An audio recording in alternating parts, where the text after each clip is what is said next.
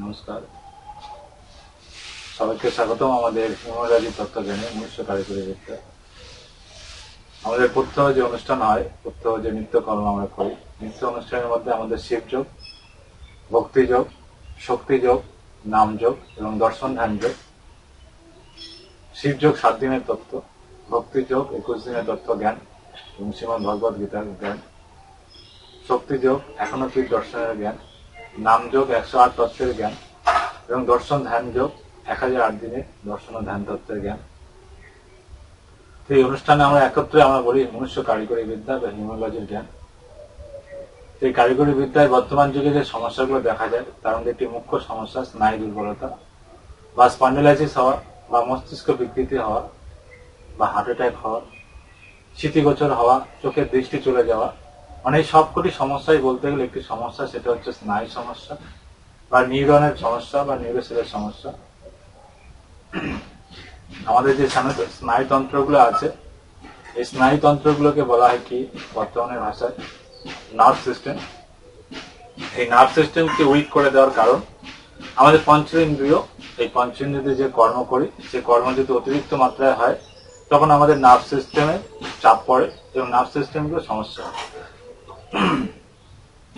এই নার্ভ সিস্টেমগুলোতে যে বস্তুগুলো রয়েছে, সেটা কি?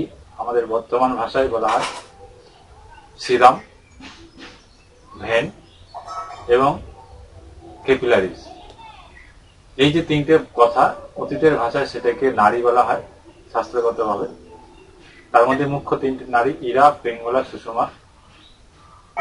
ইরা নারী বাদিকে সুষমা মাঝখানে, পিঙ্গলা ডান দিকে এই যে জ্ঞান, কিন্তু এই জ্ঞানটি মুখ্য নয়, আমাদের শরীরে রয়েছে বাহাত্তর কোটি, বাহাত্তর লক্ষ, বাহাত্তর হাজার দুশত একটি নারী।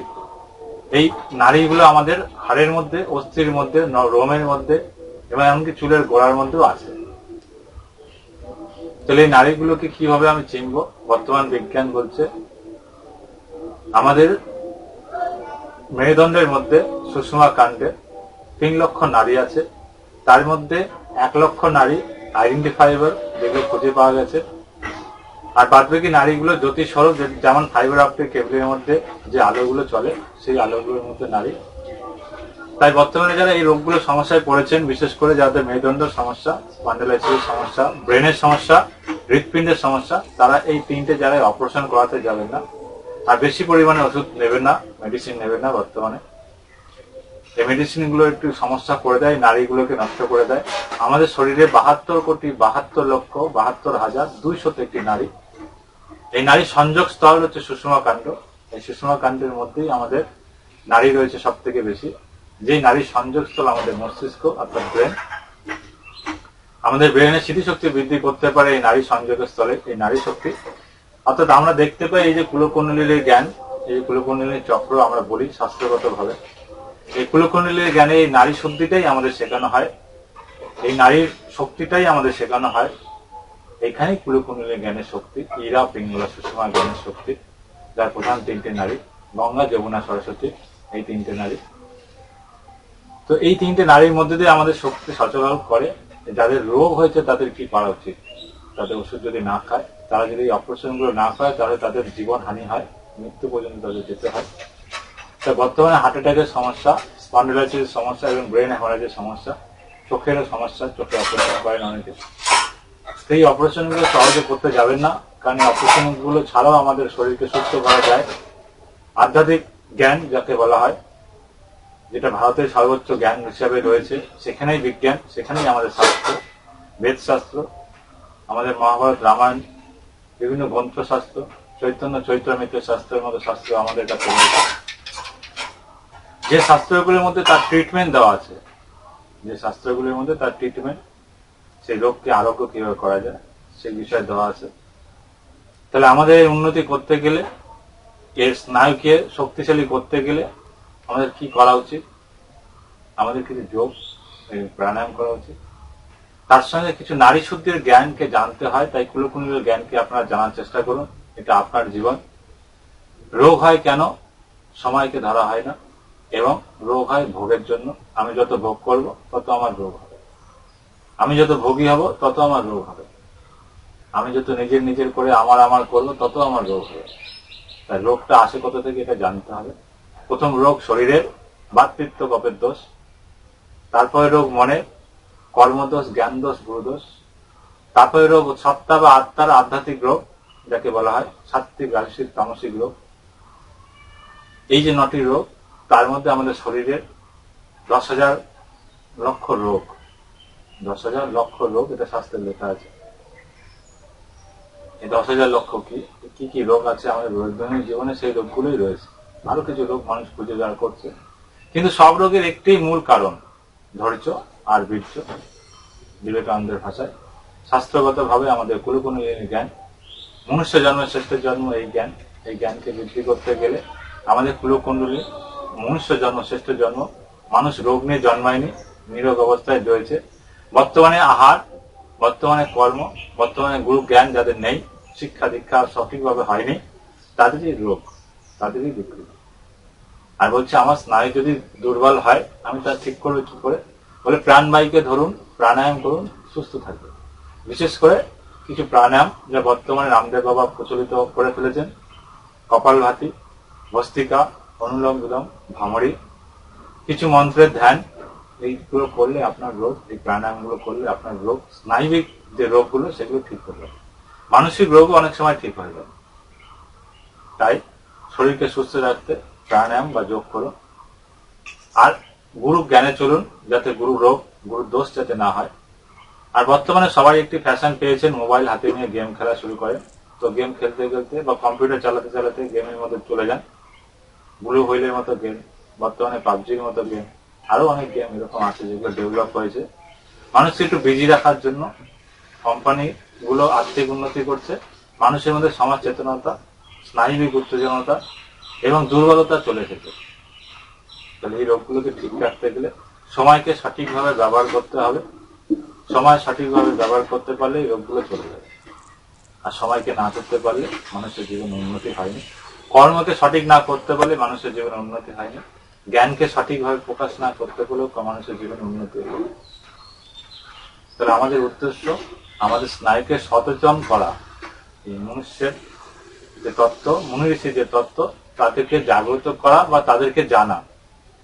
এই যে গুরুতত্ত্ব গুরু জ্ঞান নিয়ে আমরা চলি। বর্তমান ভারতীয় যে ভাষা, দীক্ষা ছাড়া শিক্ষা হয় না বা শিক্ষার গেলে দীক্ষার প্রয়োজন হয় তাই দীক্ষা শিক্ষার মধ্যে কিছু কর্ম আছে, যেটা আপনারা চৈতন্য যিশু ইসলাম ধর্মের মহা, মোহাম্মদকে যদি জানেন, এবং আমাদের বিভিন্ন ভারতীয় এই বাংলার মাটিতে যারা জাগ্রত অবস্থায় আছে তৈলঙ্গ স্বামী লোকনাথ বাবা, গৌর খাপা, এইরকম মানুষগুলো অনেক আছে যারা আপনাদেরকে সচেতনতা দিয়েছে এবং শান্তির মধ্যে ছিল। তাদের মধ্যে বিকৃতি ছিল না, তাদের মধ্যে উত্তেজনা এইভাবে ছিল না। বর্তমান সমাজে যে কাম, ক্রোধ লোক মোহাম্মদ মাস্টার্য যে ভাগ, এগুলোকে বন্ধ করতে হয়। আমরা মনুষ্য রূপে নীরবভাবেই জন্মগত হয়েছি। কিন্তু সমাজে যখন পড়লাম, আমাদের রোগ ধরে বসছে। কেন? আমরা সময়কে অনর্থায় নষ্ট করছি, কর্মকে ক্ষীণ করে ফেলতে চাইছি, আর জ্ঞানের বিকৃতি করে ফেলেছি। আমাদের জ্ঞান মনুষ্য জন্ম শ্রেষ্ঠ জন্ম, যদি পারো বুঝতে আমাদের জ্ঞান মনুষ্য জন্ম, শ্রেষ্ঠ জন্ম যদি পারো জানতে। এই মানুষ রূপেই মানুষই একে অপরকে ভালোবাসা, ভক্তি, প্রেম প্রদান করতে পারে, প্রত্যেকটা জীবকে প্রদান করতে পারে। মানুষের মধ্যে আটটি ক্ষমতা আছে বসিতা প্রাক্রময়, প্রাপ্তি, গরিমা, লহিমা, অনিমা, এই যে ক্ষমতা, এই ক্ষমতাগুলো সম্বন্ধে জানা। সাধারণভাবে বললে মানুষ একে অপরকে বশীকরণ করতে পারে। মানুষ প্রকৃতির সঙ্গে কথা বলতে পারে এবং তার একটা প্রাপ্তি আছে, সেই প্রাপ্তিকে পেতে পারে। কেউ নিজের হালকা হয়ে সূর্যের উপর ভাসতে পারে, জলের উপর ভাসতে পারে, কেউ নিজেকে অদৃশ্য করে ফেলতে পারে। কেউ এইখানে বসে বিনা পেস্টিক ছাড়া মহাকাশে চলে যেতে পারে। কেউ এমন একটা গণিত এনে দিতে পারে, নতুন একটা জীবনের নতুন তত্ত্ব, আর্যভট্টের মতো, রামানুজের মতো যে গণিত, যে শাস্ত্র এনে দিতে পারে, সেটা প্রাপ্তির ভয়ের জ্ঞান। তো সবাই এটা করতে পারে। কিন্তু আমরা কি করি? আমরা অ্যাপ্লিকেশন করছি গেম খেলছি, কিন্তু গেমটা কীভাবে তৈরি হয়েছে সেটা জানছি না। আমার জীবনটা কীভাবে তৈরি হয়েছে, এই মনুষ্য জন্ম, শ্রেষ্ঠ জন্ম, এই মনুষ্য যন্ত্রটা শ্রেষ্ঠ যন্ত্র, এটা জ্ঞানটা আমরা নিতে চাইছি। এই যন্ত্র দিয়ে কি কি করা যায় সেটা জানতে হবে। এই যন্ত্র দিয়ে আমরা বিভিন্ন রোবট যন্ত্র বানিয়েছি। এই যন্ত্রকে ব্যবহার করে আমরা বিভিন্ন রকমের গেম ডেভেলপ করেছি। এই যন্ত্রকে আনন্দে রাখার জন্য আমরা নিজের স্বাচ্ছন্দ্য, আনন্দ প্রমোদ এগুলো করি। এই যন্ত্রটাকে সঠিকভাবে চালাতে গেলে আমাদের যে ম্যানুয়াল দেওয়া আছে ম্যানুয়াল কি পড়েছেন একটা মোবাইল কিনলে বন্ধুর কাছে শিখতে হয় কীভাবে মোবাইলটা চালাবো? একটা মোবাইলে গেম খেলতে গেলেও চারজন বন্ধুকে হেল্প নিতে হয়, কীভাবে গেমটাকে আরও ভালোভাবে খেলবে কিন্তু এই যে মনুষ্য জীবনটা দেওয়া আছে, এই যে শরীর, এই যে মানুষের পূর্ণ জীবন মাথার চুল থেকে শুরু করে পায়ের নখ পর্যন্ত, তার সম্বন্ধে কিছু জ্ঞান আছে?